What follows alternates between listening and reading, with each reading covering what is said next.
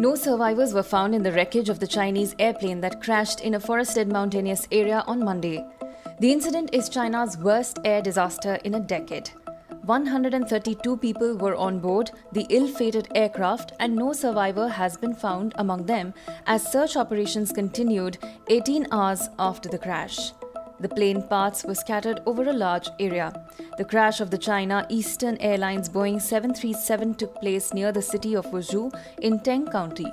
Flight MU 5735 was en route for Guangzhou in Guangdong province from Kunming, the capital of Yunnan province. The plane lost contact over Wuzhou. In its final moments, the plane descended at a rate of 31,000 feet a minute, according to Flight Radar 24. The rapid descent sparked a mountainside fire, leaving a deep pit in the mountainside where the plane landed, as per Xinhua News Agency. China Eastern is, along with Air China, China Southern Airlines, and HNA Group, one of four major carriers in China, all of which are state owned. China has improved its air safety dramatically over the years. It has not reported a crash of a commercial flight with more than five fatalities since 2010.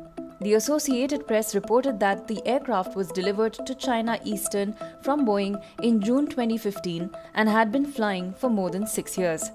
The cause of the plane crash is still under investigation. Meanwhile, in the wake of the Chinese airplane crash, India's aviation safety regulator also has ordered enhanced surveillance for Boeing 737 aircraft in India. Monitoring teams have been deployed to ensure that the 737 fleets of Indian carriers are operated and maintained as per norms.